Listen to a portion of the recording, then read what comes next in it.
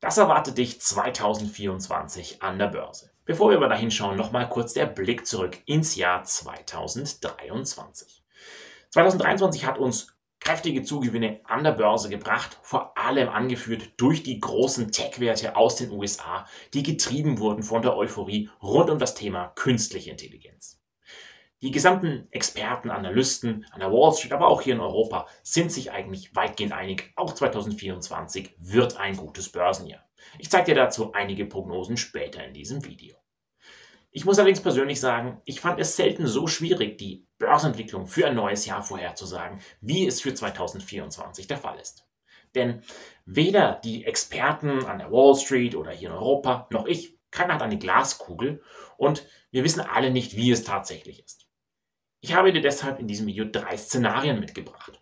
Und wir müssen dann im Laufe des Jahres beobachten, wie wirklich die Entwicklung an der Börse ist, um dann zu entscheiden, in welchem Szenario wir uns gerade befinden. Je nachdem, in welchem Szenario wir uns befinden, müssen wir eben flexibel unsere Investitionsentscheidungen anpassen, um auf diese Unsicherheit auch passend reagieren zu können.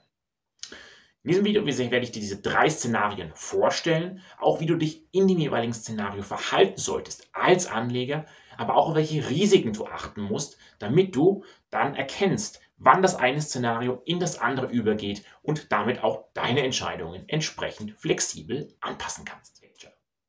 Bevor wir jetzt in die Details hineingehen, möchten wir noch erstmal einen Blick auf das große Ganze werfen. Unsere Frage ist doch, wie könnten sich denn die Aktienmärkte entwickeln, damit wir bessere Anlageentscheidungen treffen können?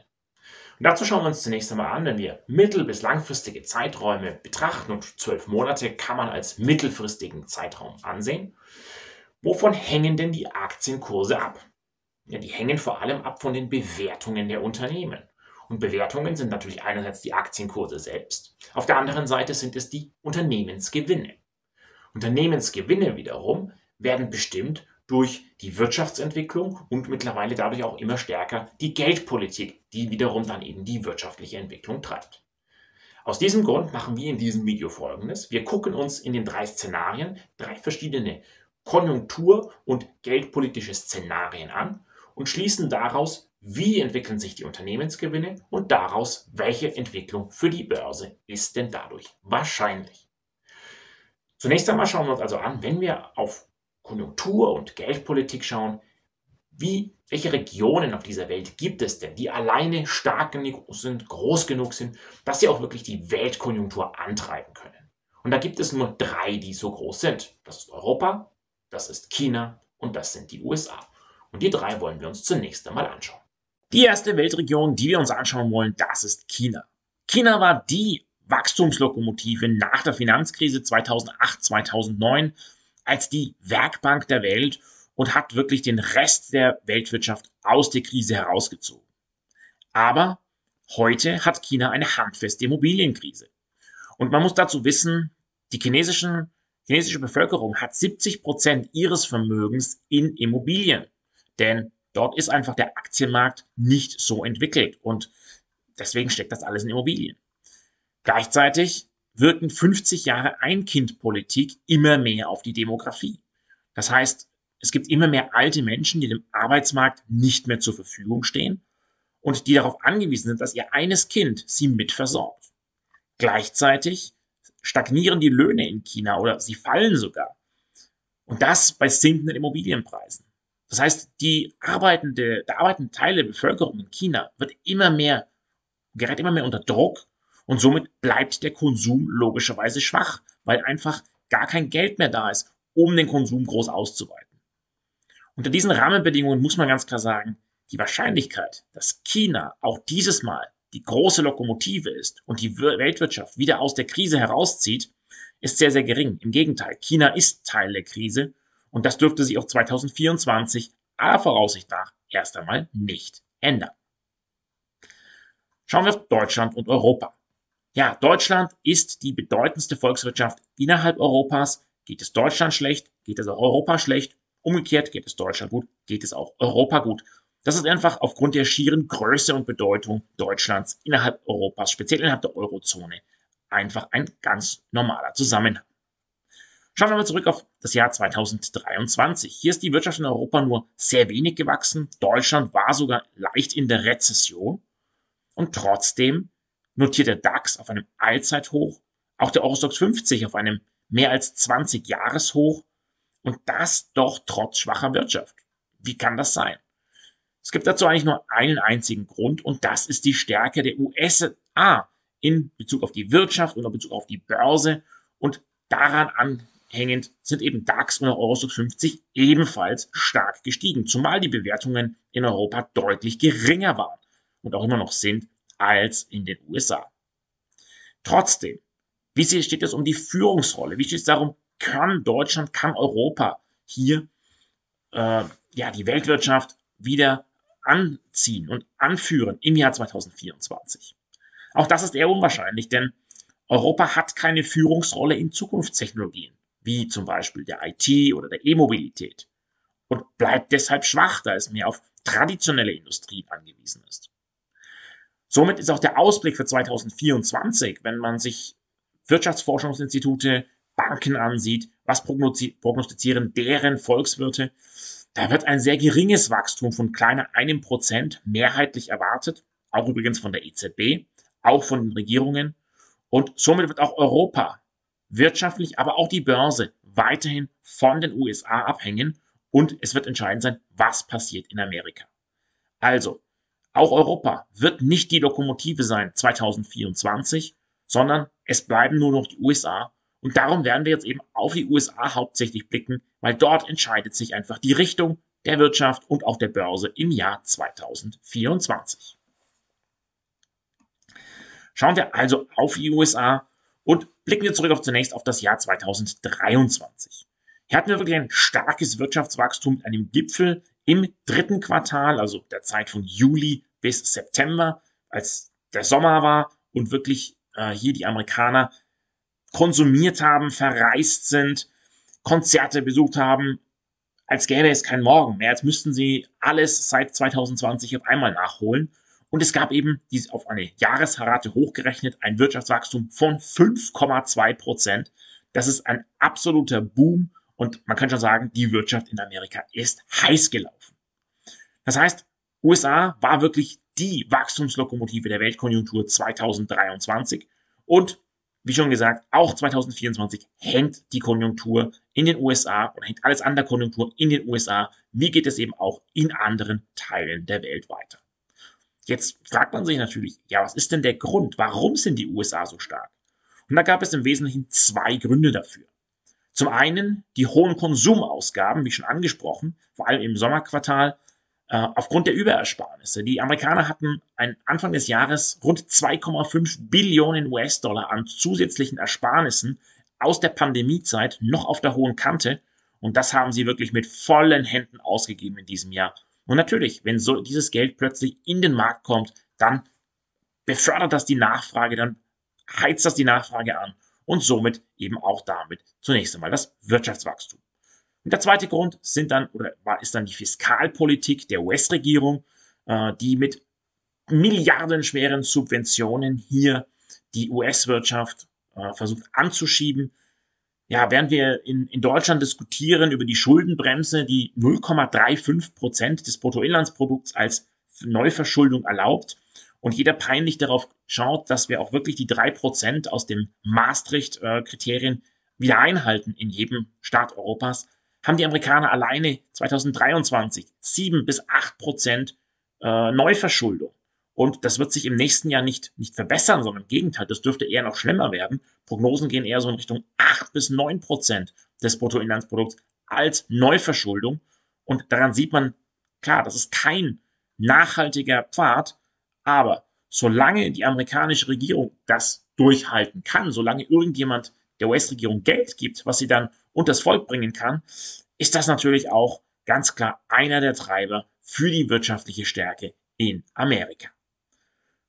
Das hat seine Wirkung auch an den Börsen entfaltet. S&P 500 und Nasdaq 100 sind auf neue Allzeithochs oder in der Nähe ihres Allzeithochs aus dem Jahr 2021 gestiegen. Hauptgrund natürlich dafür sind die großen sieben, die Magnificent Seven Aktien, diese Big Techs und getrieben eben von dieser KI-Euphorie und zuletzt auch von dem äh, Thema Zinssenkung, Zinssenkungseuphorie. Und das hat eben die Märkte jetzt auf diese neuen Allzeithochs gehievt.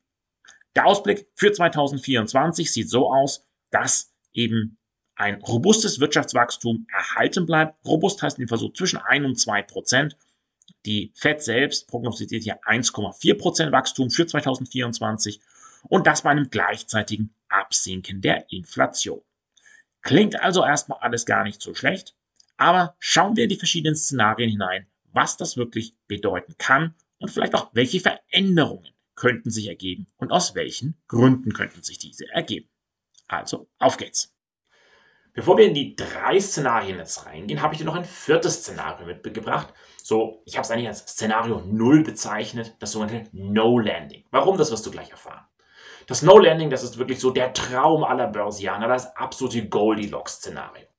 Das würde bedeuten, die Wirtschaft wächst weiter noch stärker als schon 2023, wie das bei dem schon starken Wachstum 2023 in Amerika gehen soll. Das wäre schon wirklich ein absoluter Boom. Gleichzeitig würde aber in diesem Boom die Inflationsrate auf 2% fallen, die Notenbank senkt die Zinsen und stimuliert die Wirtschaft noch weiter mit einer lockeren Geldpolitik.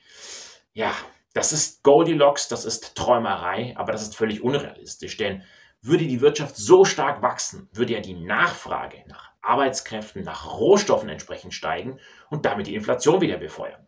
Also das heißt, die Fed könnte die Zinsen gar nicht senken, sondern im Gegenteil, sie müsste sie noch weiter anheben.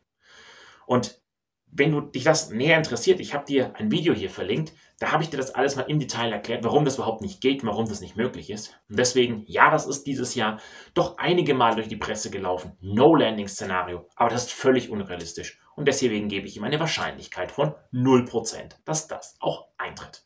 Blicken wir also auf das erste richtige Szenario, das Soft Landing. Und dazu muss man erstmal sagen, das ist aktuell das Konsens-Szenario an der Wall Street.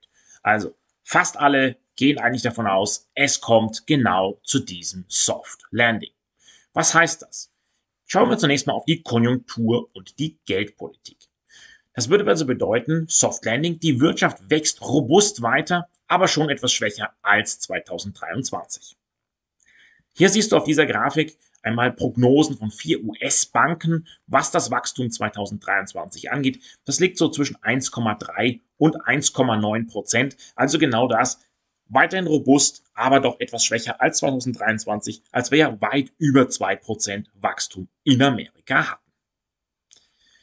Im weiteren Verlauf bedeutet das auch, dass die Inflation weiter zurückgeht in Richtung des 2%-Ziels, aber sie muss noch nicht unbedingt bei 2% liegen, wird sie auch in diesem Fall wahrscheinlich nicht, das ist auch die Projektion, zum Beispiel der Federal Reserve. Aber wir haben ein deutliches weiteres Absinken der Inflation. Hier siehst du einmal die Entwicklung der Inflation in den letzten, über die letzten Jahre hinweg. Und wir sehen diesen riesen Anstieg im Jahr 2021, 2022. Wir sehen aber auch, wie die Inflation zurückgekommen ist seit Mitte 2022 in den letzten 18 Monaten. Aber trotzdem muss gesagt werden, die Inflation liegt immer noch deutlich über dem 2%-Ziel. Zwar ist die Komplettinflation, in der eben auch stark schwankungsanfällige Preise wie Energie, Nahrungsmittel äh, mit eingerechnet sind, auf zuletzt 3,1 im November gesunken. Also hat sich schon etwas weiter angenähert. Aber die Kerninflation, die eben genau solche äh, ja, schwankungsanfälligen Preise herausrechnen. Man muss eben sagen, ja, der Ölpreis ist zuletzt doch deutlich niedriger gewesen als noch im Vorjahr. In der Kerninflation sind es vor allem die Dienstleistungen, die hier die Preistreiber sind, aber auch der gesamte Bereich Immobilien. Und das ist ein absolutes Schwergewicht in der Zusammensetzung dieses Index. Und da sieht man, dass wir mit 4% weiterhin beim Doppelten liegen, wie äh, die Zielrate der Federal Reserve ist. Also zu sagen, die Inflation ist besiegt, wäre tatsächlich zu früh. Und deshalb ist es eben auch nicht unbedingt so wahrscheinlich, dass die Zinsen schnell gesenkt werden, sondern hier muss schon noch eine Abschwächung der Wirtschaft passieren. Hier muss eine Abschwächung der Nachfrage kommen, um wirklich auch in Richtung des 2%-Ziels weiterhin zu laufen. Wie gesagt, 2% am Ende 2024 sind im Bereich oder im Szenario des Soft Landings noch nicht realistisch. Das geht dann erst Richtung 2025 oder gar 2026, aber zumindest eine klare Richtung in Richtung 2% sollte sich dann zeigen. Was bedeutet das also für die Zinsen? Die Fed hat ja in ihrer letzten Sitzung angekündigt, dass es eine Erwartung gibt, 75 Basispunkte werden gesenkt im nächsten Jahr. Und ich könnte mir gut vorstellen, dass eben in so einem Szenario des Soft Landings ab Mitte 2024 die Zinssenkungen einsetzen und dass wir ebenso 75, vielleicht sogar 100 Basispunkte bis Jahresende sehen werden, eher in der zweiten Jahreshälfte, sodass wir dann einen Leitzins haben äh, im Bereich 4 bis 4,5 Prozent bis Ende 2024, was ja bei einer Inflationsrate, die dann vielleicht irgendwo um die zweieinhalb Prozent liegt oder zumindest deutlich in Richtung zwei Prozent wieder weiter abgesunken ist, eine vergleichbare reale Rendite bedeutet, äh, wie wir das eben auch heute sehen. Und das war ja auch die Argumentation der Fed, warum die Zinsen eben dann sukzessive gesenkt werden sollen, wenn sie sehen, dass die äh, Inflation sich wirklich in Richtung zwei Prozent entwickelt, damit eben hier keine weitere Verschärfung der finanziellen Bedingungen erfolgt, sondern der Realzins so wahrscheinlich bei ungefähr zwei Prozent einigermaßen konstant gehalten wird. Blicken wir als nächstes auf die Unternehmensgewinne und hier wird eben erwartet, dass ein moderates bis durchaus kräftiges um, äh, Wachstum bei Umsatz und Gewinn erfolgt. Äh, die aktuelle Konsensschätzung der Wall Street lautet Gewinnwachstum 12 Prozent, also das ist schon wirklich ein kräftiges Wachstum. Und die, der Hauptgrund oder die Begründung dahinter ist, dass einfach die Reallohngewinne der Arbeitnehmer, die zweifellos passieren, da die Lohnsteigerungen höher sind als die Inflationsrate zum ersten Mal seit vielen Jahren, dass das zu robustem Konsum beiträgt und wenn 70 Prozent des BIPs, äh, und so ist das in den USA nun einmal, an Konsum hängen, an den, Arbeit, mit, an den Konsumenten hängen, dann sind natürlich solche Reallohngewinne schon ein wirklicher Treiber für das Wachstum in, in Amerika. Gleichzeitig wird eben in diesem Szenario auch argumentiert, dass es eben einen geringeren Kostendruck gibt bei den Vorleistungsgütern und dass auch die Löhne dann sich, die Lohnsteigerungen sich 2024 wieder verlangsamen, sodass die Gewinnmargen eben stabil bleiben oder sogar weiter gesteigert werden können und das also ein sehr günstiges Umfeld für Aktien äh, entsprechend wäre. Was bedeutet das für die Börsenentwicklung? Nun, es wird erwartet, dass wir hier eben dann durchaus, und wir sehen das hier in dieser Grafik, die Prognosen sind da relativ optimistisch, äh, werden auch momentan reinweise angehoben, sodass also ganz klar Stände im S&P 500 bis Ende 2024 von über 5000 Punkten, durchaus jetzt 5100, 5200 Punkten gesehen werden. Und das halte ich in so einem Szenario auch für absolut realistisch. Ich würde sogar sagen, wir werden eher am oberen Rand der Prognosen den S&P 500 sehen, wenn es wirklich zu diesem Szenario kommt. Äh, denn das ist wirklich ein sehr, sehr optimistisches Szenario und das wird die Euphorie und die Fantasie der äh, Anleger in Amerika vor allem weiter befeuern und somit dürften wir da eben auch ein relativ starkes Wachstum, einen sehr, starken Anstieg wieder in den Indizes sehen, so dass ich eben hier mir durchaus vorstellen könnte, dass wir die optimistischen Prognosen hier von 5200, 5300 Punkten zumindest im Laufe des Jahres, aber wahrscheinlich auch tendenziell in Richtung Jahresende 2024 sehen werden. Wie also solltest du in diesem Fall investieren, wenn es wirklich zu einem Soft Landing kommt? Nun, ich warte in diesem Fall eine ganz klassische, typische Saisonalität auch im Jahr 2024 im Verlauf des Börsenjahres. Wenn dich dieses Thema Saisonalität mehr interessiert, ich habe dir hier das Video verlinkt, wo ich einmal ausführlich darüber ein Video gemacht habe. Schau dir das gerne an und erfahre mehr dazu. Was bedeutet das jetzt konkret für das Jahr 2024? Schauen wir es uns gemeinsam an. Nun, wir sollten dann im Laufe des Januars eine erste positive Tendenz sehen und sollten uns dann auch relativ schnell voll investieren im Januar, da ich einen Anstieg bis etwa den Mai, Juni hinein erwarte. Im Mai, Juni ist es dann an der Zeit, Gewinne mitzunehmen und dann eben über den Sommer und die Herbstkorrektur entsprechend abzuwarten. Auf der anderen Seite dürfte es dann eben auch ab Oktober wieder zu einer Jahresendrallye kommen und da sollten wir dann in der Herbstkorrektur hinein wieder entsprechend hier uns voll investieren. Also eine klassische saisonaler Verlauf mit einem Anstieg des Aktienmarktes. Trotzdem gebe ich dem Ganzen nur eine Wahrscheinlichkeit von 10%, dass das wirklich so eintritt. Warum die Wahrscheinlichkeit so gering? Nun, nach so einem Zinsanhebungszyklus, wie wir ihn von der Fed gesehen haben, ist es einfach die absolute Ausnahme und nicht die Regel, dass es zu einem wirklichen Soft Landing kommt. Und warum das Soft Landing so unwahrscheinlich ist und warum es eher zu einer Rezession kommt, das müssen wir uns jetzt mal etwas genauer anschauen im Szenario 2. Schauen wir also uns dazu die Annahmen an. Beginnen wir wieder bei der Konjunktur und der Geldpolitik. In dem Soft Landing Szenario ist es ja so, dass die Annahme ist, der Konsum bleibt robust. Die Begründung hierfür ist der positive Effekt mit den Reallohnsteigerungen. Das ist auch keinesfalls abzuwiegeln, sondern natürlich ist das erstmal ein Faktum. Trotzdem blendet es negative Effekte aus. Welche sind diese negativen Effekte? Nun, die Haushalte haben keine Überersparnisse mehr aus der Pandemiezeit, denn die haben sie ja ausgegeben. Und das waren immerhin Anfang 2023 noch 2,5 Billionen Dollar, also schon ein sehr, sehr großer Betrag. Aber der ist ausgegeben und hat das Wirtschaftswachstum schon 2023 befeuert und damit auch eine sehr hohe Vergleichsbasis geschaffen. Also das ist definitiv schon mal ein negativer Effekt, dass diese zusätzlichen Gelder nicht mehr zur Verfügung stehen. Gleichzeitig sind die Haushalte mit immer stärker steigenden Kreditkosten konfrontiert. Klar, wenn Haushalte ihre Hypothek umschulden müssen, kostet die jetzt viel, viel mehr als vor ein paar Jahren, als die Zinsen noch deutlich niedriger waren. Das steigert die monatliche Belastung. Auch Kreditkartenzinsen. Und die Amerikaner sind auf Rekordständen mit Kreditkartenschulden äh, versorgt oder haben Rekorde an Kreditkartenschulden angehäuft. Auch hierfür steigen die Zinsen immer weiter, also damit auch die monatlichen Zinsbelastungen. Und das alles in allem nimmt natürlich einfach Kaufkraft wieder weg, auch aus diesen Reallohnsteigerungen, denn das müssen sie ja bezahlen.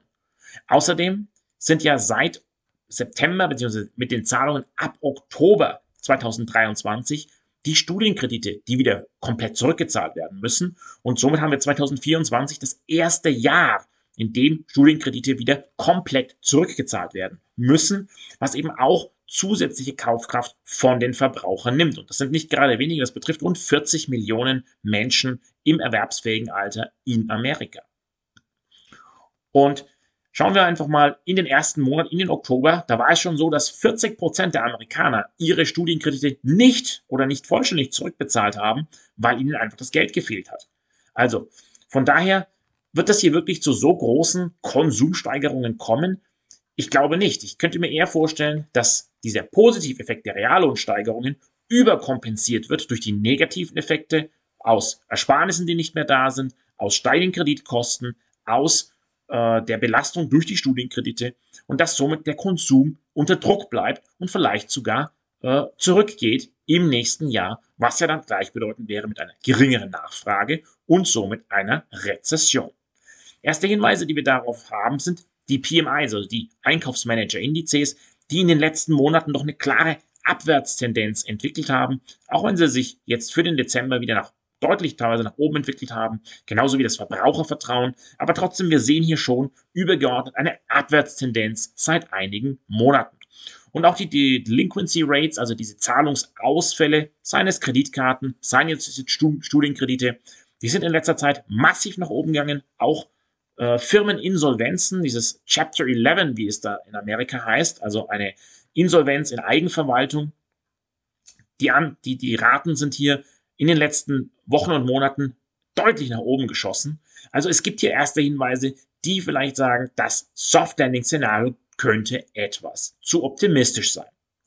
Wenn dann irgendwann die Arbeitslosenquote noch steigt, weil ja auch durch die höheren Löhne die Arbeitskosten für die Firmen steigen, ja dann dürfte der Konsum in jedem Fall zurückgehen und die Wahrscheinlichkeit einer Rezession ist doch sehr, sehr hoch. Weiter dürfen wir nicht vergessen, die Zinsanhebungen werden ihre volle Wirkung erst 2024 entfalten. Hier in dieser Grafik sehen wir einmal die Prognose für Europa, wo wir sehen, dass eigentlich erst so in der zweiten Jahreshälfte 2024 die Wirkung voll zuschlägt. Das sind die typischen 18 Monate, die eben vergehen nach äh, dem Peak, nach der letzten Zinsanhebung, bis diese wirklich sich in der Wirtschaft voll zeigt. Wir hatten sie in den USA im Juli 2024.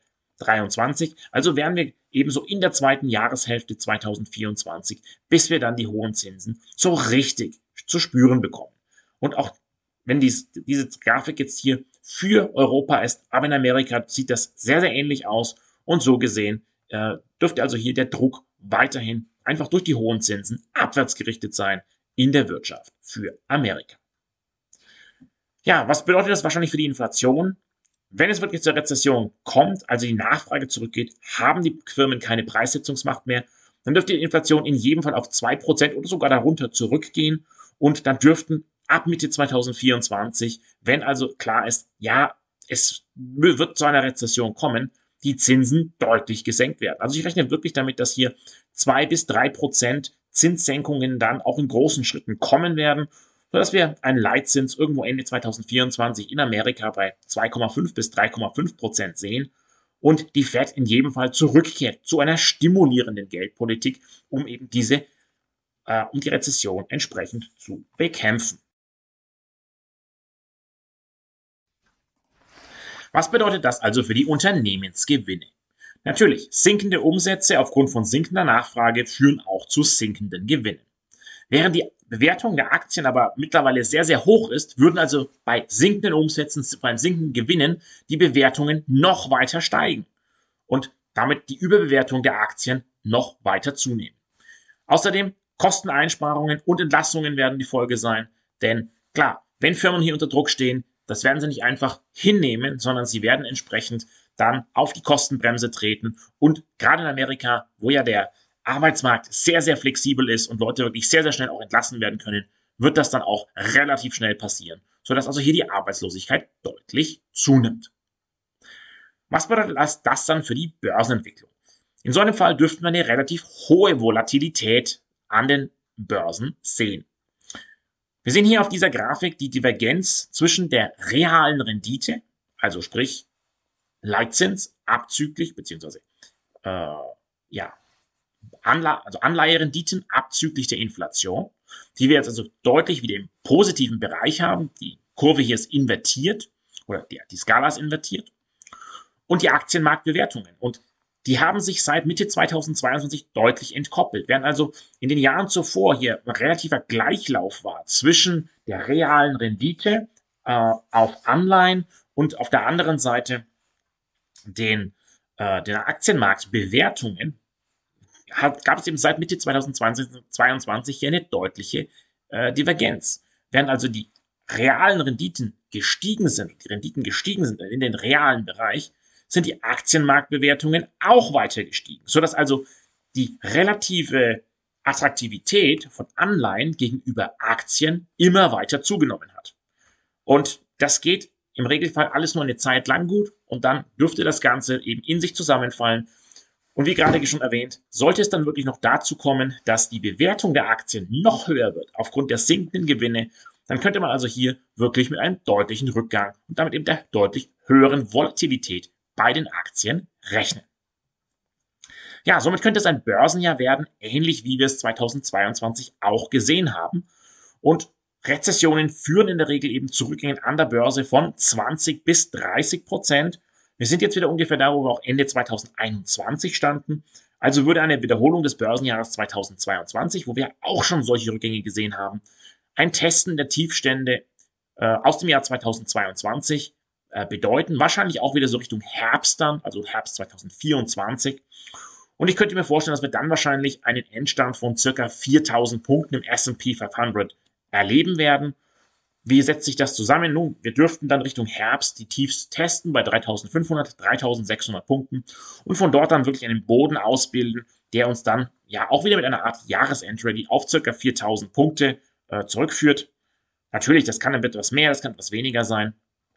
Aber in einem Szenario, wo wir wirklich in eine Rezession fallen, wäre das für mich ein wahrscheinliches Szenario. Wenn es also jetzt zur Rezession kommt, wie solltest du dann investieren? Nun, zunächst einmal sollten wir im Januar dann schon eine erste Tendenz sehen, nämlich eine negative Tendenz. Wenn wir das sehen, dann solltest du in jedem Fall verkaufen und Cash aufbauen. Wichtig ist in diesem Szenario in jedem Fall, dass du ein gutes Risikomanagement hast. Zum Thema Risikomanagement habe ich dir auch hier mein Video verlinkt, wo ich auch genau dieses Thema schon mal intensiver bearbeitet habe und vorgestellt habe. Wichtig ist es auch, wenn du mutig bist und wenn du möchtest, kannst du dir auch von den fallenden Kursen entsprechend profitieren mit Short-Positionen. Wie schon angedeutet, ich rechne im Herbst dann mit den Tiefständen und dann solltest du auch im Herbst mutig wieder zugreifen und wieder einkaufen. Das würde also dann ungefähr so aussehen. Wir sehen hier zu Beginn des Jahres einen Abstieg, dann eine Erholung in die Mitte hinein, den entsprechenden äh, die Herbstkorrektur und anschließend dann eine Jahresendrallye. Das heißt ein typisches ABC-Muster zunächst einmal bis in den Herbst hinein und dann eben wieder eine kleine Jahresendrallye. Kaufen sollten wir eben hier versuchen.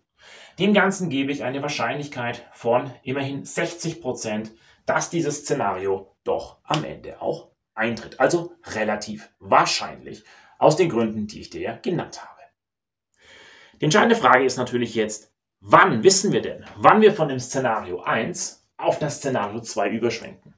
Und da müssen wir aber sagen, wenn wir uns einmal die Vorausschauendindikatoren anschauen, wie Einkaufsmanager-Indizes, wie Verbrauchervertrauen, Leading Economic Indicators, die Bondrenditen, die, äh, den Economic Surprise Index, den Auftragseingang, dann sind das alles Indikatoren, die heute bereits in Richtung Rezession zeigen.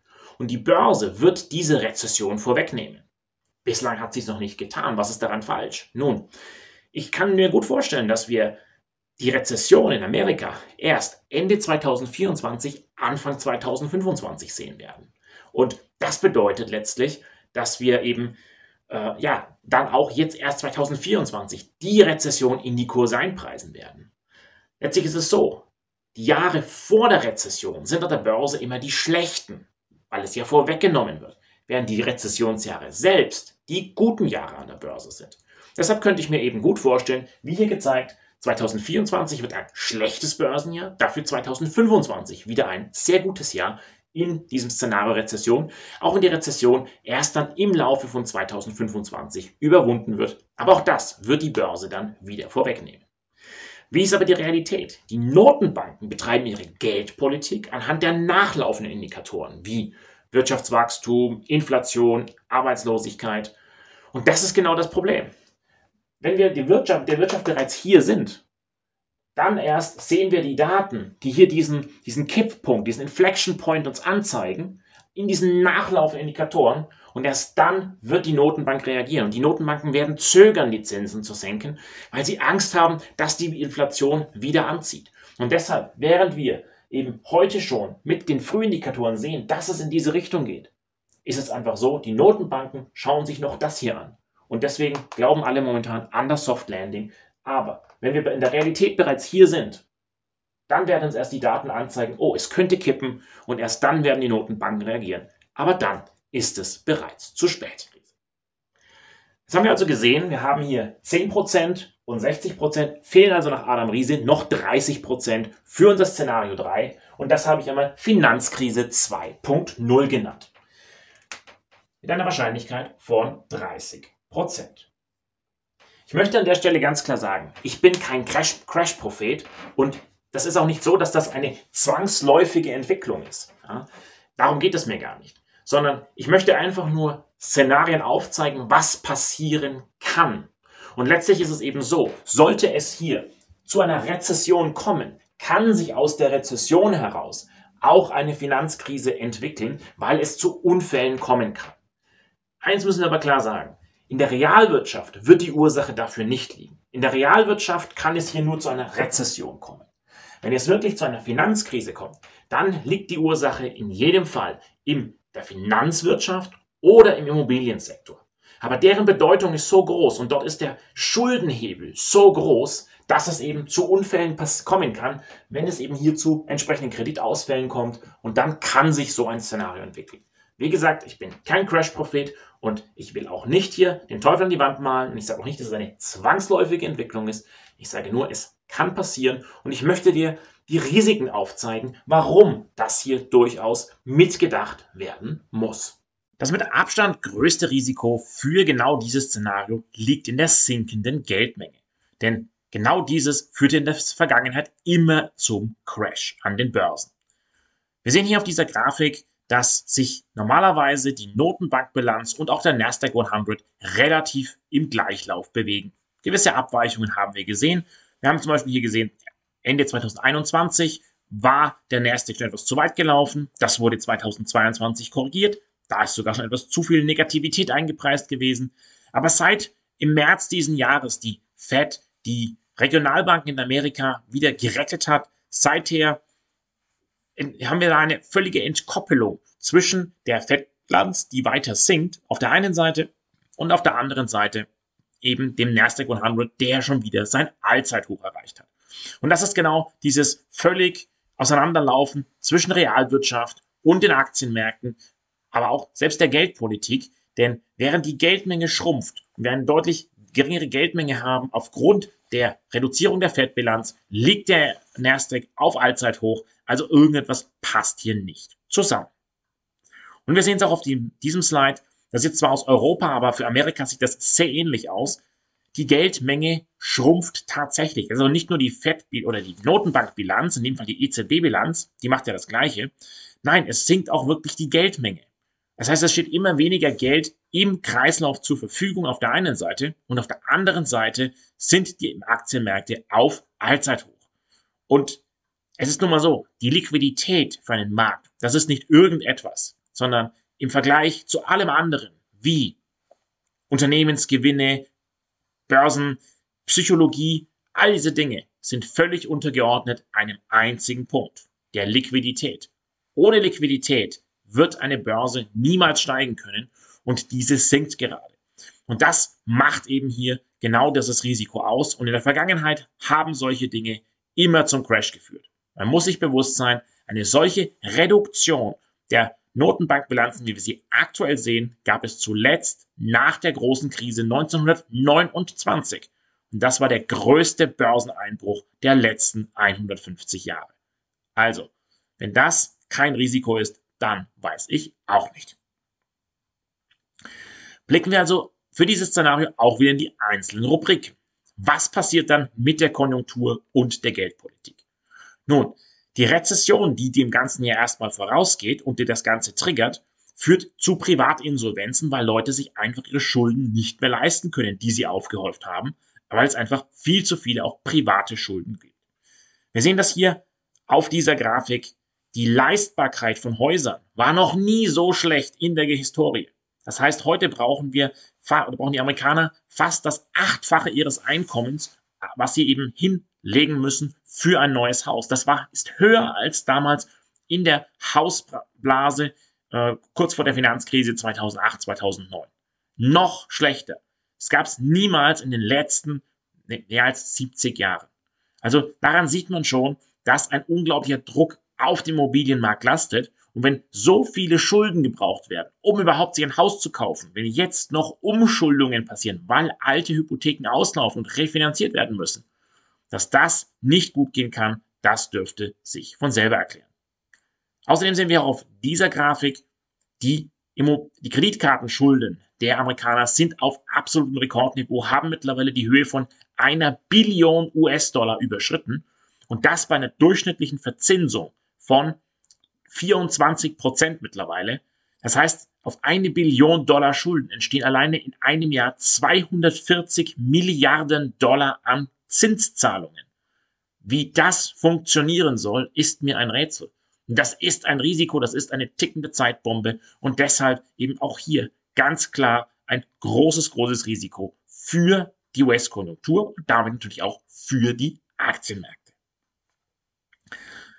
Denn all das führt eben dann dazu, dass eben nicht nur der Gewerbeimmobilienmarkt, der ja heute schon unter Druck steht, weil es zum Beispiel in Kalifornien, San Francisco und dieser Gegend Gegenden gibt, das sind 60, 70 Prozent Leerstandsquote. Das heißt, nicht nur dieser Gewerbeimmobilienmarkt gerät dann unter Druck und führt zu Kreditausfällen bei den Banken, sondern eben auch der Wohnimmobilienmarkt gerät unter Druck, weil es zu mehr und mehr Hypothekenausfällen kommt. Und das erzeugt dann einen Riesendruck im Finanzsystem in Verbindung mit der sinkenden Geldmenge und irgendwo platzt dann eine Bombe.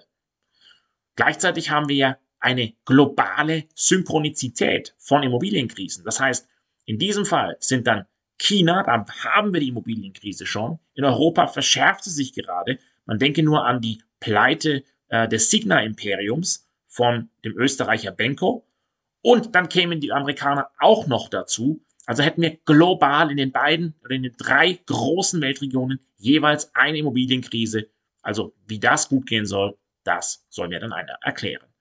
Also hier in so einem Fall würde es ganz klar eine sehr tiefe Rezession oder sogar eine Depression geben. Wir würden also mit Sicherheit etwas wiederholen, wie wir es auch 2008, 2009 gesehen haben. Vielleicht zunächst einmal sogar noch schlimmer. Für die Inflation dagegen ist das natürlich ein gutes Zeichen, denn die wird auf klar unter 2% sinken. Vielleicht werden wir sogar eine Deflation dann sehen im Laufe des Jahres 2024. Und was die Fettpolitik dann betrifft, ist klar. Hier werden in so einem Szenario, wenn es wirklich zu einem echten Kollaps kommt, wird die Fed im zweiten Halbjahr die Zinsen wieder in Richtung 0% in absoluten Notaktionen senken, ein neues Quantitative Easing, also QE-Programm auflegen und die Kapitalmärkte werden massiv mit Liquidität geflutet. Und ich könnte mir vorstellen, sollte es wirklich zu einem solchen Extremszenario kommen, dann ist, war das Gelddrucken, was wir vor vier Jahren gesehen haben, äh, im Rahmen der Corona-Pandemie noch wirklich ein kleines, ein, ein leichtes Lüftchen, dann dürfte Geld gedruckt werden, dass es kein Morgen mehr gibt und die großen Schulden und Schuldenlöcher mit noch viel, viel mehr Schulden zugekippt werden. Also das dürfte wirklich ein absolutes Ertränken der Märkte in Liquidität bedeuten. Was würde das für die Unternehmensgewinne aber zunächst einmal bedeuten? Naja, wenn die Leute ihre Jobs verlieren, wenn sie immer mehr unter Druck geraten und Angst haben müssen, dass sie in die Insolvenz gehen.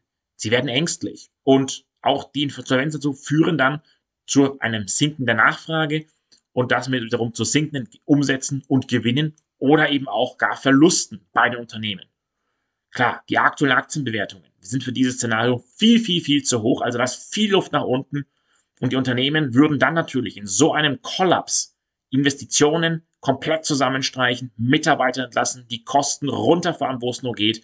Also das gibt eine richtige Abwärtsspirale dann für die Unternehmen und damit natürlich auch für die Aktienmärkte. Ja, was bedeutet das für die Börsenentwicklung? Höchstwahrscheinlich dürften wir dann eine Entwicklung sehen, wie ähnlich war wie eben 2008. Das heißt, im Herbst 2024 könnte ich mir vorstellen, dass es dann zu einem regelrechten Börsencrash kommt. Und in so einem Börsencrash sind eben Rückgänge von 40 bis 50 Prozent an der Börse absolut wahrscheinlich und normal. Und die Tiefstände, die wir im Herbst 2022 gesehen haben, würden wir dann noch deutlich unterbieten. Also ein S&P 500 könnte ich mir vorstellen, dürfte dann deutlich unter 3000 Punkte fallen und wahrscheinlich dann, ähnlich wie wir es auch 2008, 2009 gesehen haben, dürfte dann das Aktienmarkttief in diesem Szenario erst in Richtung Frühjahr 2025 vielleicht ja dann wieder der März 2025 erreicht werden. Also dann geht es noch deutlich tiefer, als wir das schon im letzten Jahr gesehen haben.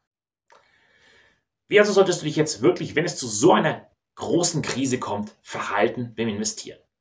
Nun, zunächst einmal, wir werden dieses Szenario nicht sehen vor Mitte des Jahres 2024. Das ergibt sich dann quasi als eine negative Weiterentwicklung aus dem Szenario 2, aus der Rezession heraus. Das sehen wir dann, wenn sich die Risiken gegen Mitte des Jahres verdichten, dann kann das passieren und dann kann es auch wirklich zu einem Crash kommen, den ich aber erst, wenn dann im Herbst 2024 erwarte, mit dem Tief im Frühjahr dann 2025. In jedem Fall gilt es dann, sollten sich da die Risiken verdichten, Cash aufzubauen, so viel wie möglich. Und dann kannst du nach diesem großen Crash im Herbst deine ersten Positionen aufbauen, weil nicht jede einzelne Aktie wird dann nochmal neue Tiefs im Frühjahr ausbilden. Das ist auch das Gleiche, was wir im Jahr 2008, 2009 erlebt haben. Und trotzdem musst du den Großteil deines Cashs zurückhalten für das Frühjahr 2025. Wird also dann ungefähr so aussehen. Am Anfang genauso wie hier im Szenario 2. Wir werden eben einen Rückgang sehen, eine Erholung, aber dann wirklich einen Crash im Herbst mit einer Erho kleinen Erholung Richtung Jahresende und einer finalen Abwärtswelle Richtung Frühjahr 2025. Und wir müssen dann hier und hier uns entsprechend einkaufen. Natürlich, wenn du mutig bist, kannst du auch wieder auf Short-Positionen setzen, um an diesem Anstieg hier zu partizipieren. Ganz, ganz wichtig und super, super wichtig ist hier ein gutes Risikomanagement. Die große Frage ist natürlich jetzt, wie kann es dann zu so einem Szenario 3, zu einer Finanzkrise kommen? Ironischerweise ist es genauso. solange, wenn wir hier relativ lange auf einem Soft Landing bleiben, weil die Wirtschaft stark bleibt, dann werden auch die Zinsen relativ lange hoch bleiben. Diese hohen Zinsen in einer so verschuldeten Wirtschaft, wie es aber auch in Amerika der Fall ist, das wird dazu führen, dass es unter der Oberfläche zu ersten Schäden kommt. Und dann irgendwann passiert so oder kann so ein Kreditereignis passieren, wie es damals das, äh, die Insolvenz von Lehman Brothers 2008 war. Klar ist aber auch, sowas lässt sich auf gar keinen Fall seriös im Vorfeld prognostizieren. So etwas passiert dann, wenn es passiert. Das Wichtige dabei ist, dass wir einfach die Augen und Ohren offen halten müssen, die Risiken im Auge behalten müssen und dann darauf uns einstellen können und müssen. Denn wenn wir hier an diesen Kipppunkt kommen, an diesen Inflection Point, dann ist es bereits zu spät. Dann befinden wir uns bereits in der Rezession. Die Notenbanken fangen wahrscheinlich schon an, langsam die Zinsen zu senken, weil wir uns in der Rezession befinden. Aber es ist zu langsam, um dieses Ereignis noch zu verhindern. Und dann kann das schlicht und ergreifend einfach passieren. Wir müssen aufpassen, dass auf die Risiken und dann uns entsprechend verhalten. Das Gute allerdings ist, da wir auch hier im Herbst erst kaufen würden, ja, bis dahin wissen wir, ob der Crash da ist oder nicht. Wir müssen aber die Risiken sehr gut im Auge behalten und sollten sich die Anzeichen verdichten, dass es dazu kommen kann, unbedingt viel Cash vorhalten und dann wissen wir ja, ob wir nur eine Korrektur sehen oder einen richtigen Crash sehen im Herbst nächsten Jahres. Und dann würden wir hier eben nicht voll investieren, sondern nur einen kleinen Teil, während wir in diesem Szenario, wenn wir hier bleiben, ja, von uns versuchen würden, sehr schnell wieder voll zu investieren. In der aktuellen Situation ist es nahezu unmöglich, wirklich die Börsenentwicklung für 2024 vorherzusagen. Und deshalb müssen wir eben mit verschiedenen Szenarien arbeiten und dann genau beobachten und entsprechend die Risiken einschätzen, um zu sehen, in welchem Szenario uns wir, wir uns gerade bewegen. Es wird auch 2024 sein und das ist die Konstante. Amerika wird vorangehen, die europäischen Börsen werden dem folgen. Also müssen wir vor allem auf Amerika schauen und die Risiken dort im Auge behalten, denn die europäischen Börsen werden das entsprechend nachvollziehen. Damit du das nicht alleine tun musst, sondern wir gemeinsam die Börsenentwicklung 2024 begleiten können, Abonniere gerne den Kanal hier unter dem Video und dann verpasst du auch im neuen Jahr kein Video mehr und bist immer bestens informiert. Zur Entwicklung selber wird es so sein, im ersten Halbjahr werden wir sehen, ob wir denn das Szenario 1 oder das Szenario 2 bekommen. Ich persönlich schätze einfach aufgrund der genannten Gründe, dass wir das Szenario 2, das es eine weitaus höhere Wahrscheinlichkeit hat als das Szenario 1, aus den Gründen, die ich dir genannt habe. Es gibt aber noch zwei weitere Gründe, die dafür sprechen, dass es eher zu einer Rezession kommt als zu einem Soft Landing. Der erste Grund ist die Entwicklung, die wir jetzt seit Ende Oktober gesehen haben. Diese Fahnenstangen, das ist so ein typisches Verhalten für das Ende einer Aufwärtsbewegung, so eine finale Übertreibungsphase. Und das hat in der Vergangenheit auch häufig dann zu anschließenden Bärenmärkten geführt. Das werden wir relativ schnell Anfang Januar sehen, wie die Entwicklung da weitergeht. Auf der anderen Seite hatten wir auch in diesem Jahr eine völlige Entkopplung von einzelnen Aktien vom Rest des Marktes. Das waren die Magnificent Seven, die großen sieben Tech-Aktien in den USA, die die Indizes fast im Alleingang auf neue Höhen getrieben haben. Das gab es in der Vergangenheit auch schon im Jahr 2000, bis zum Jahr 2000 waren es die Dotcom-Unternehmen und in den 19, Anfang 1970er Jahre die sogenannten Nifty 50, das waren fünf Aktien aus dem Konsum- und Industriesektor, die damals den Markt angetrieben haben. Und das ist immer, sowohl in den 70er Jahren als auch im Jahr 2000, kam es anschließend zu Bärenmärkten. Und deswegen auch das ist ein Hinweis darauf, dass es auch dieses Mal eben eher wieder zu einem Bärenmarkt kommt, in dem diese Überbewertungen letztlich abgebaut werden. Im zweiten Halbjahr werden wir dann sehen, wie sich das Ganze dann wiederum weiterentwickelt. Also sollten wir im ersten Halbjahr hier in die Rezession oder sollte sich die Rezession ab andeuten, dann geht es noch im zweiten Halbjahr darum, Bleibt es bei der Rezession oder rutschen wir wirklich in eine finanzkrisenartige Situation? Das müssen wir dann einfach beobachten. Aber klar, das bekommen wir nur, wenn wir vorher auch wirklich in Richtung Rezession laufen. Jetzt, wenn du mich fragst, was wäre mein Lieblingsszenario, dann sage ich dir, Szenario 2 wäre mein Lieblingsszenario. Warum? Nein, es ist nicht, damit ich jetzt Recht behalte oder weil ich dem die höchste Wahrscheinlichkeit gegeben habe, sondern ich wünsche mir das Szenario 2, weil ich sage, dann sind diese ganzen Übertreibungen, die wir gesehen haben in der Covid-Zeit, während der Pandemie, die werden einmal sauber bereinigt. Und wir haben wirklich wieder einen Boden im Markt mit bereinigten Kursen, mit einer bereinigten Wirtschaft, auf dem wir wieder aufbauen können und wir dann auch in Richtung 2025 und später wieder wirklich einen tragfähigen und nachhaltigen Boden für nachhaltig steigende Kurse sehen. Im Szenario 1 wäre das nicht der Fall, denn da steht diese Bereinigung weiter aus. Die Bewertungen sind weiterhin zu hoch und das Ganze wird nur in die Zukunft verschoben. Das fände ich nicht so gut. Auf der anderen Seite könnten wir natürlich jetzt als Investoren sagen, ja, dann wäre Szenario 3 noch viel besser. Da bekommen wir wirklich günstige Kurse, wo wir wirklich günstig nachhaltig einkaufen können. Ein richtiges Geschenk quasi. Aber ich wünsche es mir nicht, weil das, so ein Szenario kommt mit vielen Verwerfungen einher und das bedeutet viel Leid für viele Menschen. Und das wünsche ich mir nicht und das wünsche ich niemandem. Außerdem würde es bedeuten, dass Regierungen und Notenbanken komplett in Panik verfallen und hinterher nur noch mehr Geld gedruckt wird als sowieso schon während der Pandemiezeit. Die Folge sind nur noch größere Verwerfungen und das wünsche ich mir auch nicht, weil das ist kein nachhaltig wirklich dann äh, gute Situation für auch wieder steigende Kurse. Deshalb persönlich wäre mir Szenario 2 am liebsten, aber die Börse ist ja bekanntlich kein Wunschkonzert, sondern äh, wir müssen es nehmen, wie es kommt. Das können wir gerne zusammen tun, also bleib dem Kanal treu und ich wünsche dir alles, alles Gute für deinen Börsenerfolg im Jahr 2024. Ich hoffe, diese drei Szenarien regen dich zum Denken an, machen dich wachsam für das, was an der Börse passiert. Folge mir gerne. Ich versuche dir das auch über das Jahr hinweg immer wieder neu äh, zu zeigen, die Informationen dazu zu geben, wo wir gerade stehen. Und damit alles Gute für deinen Investmenterfolg im Jahr 2024. Dein Christian.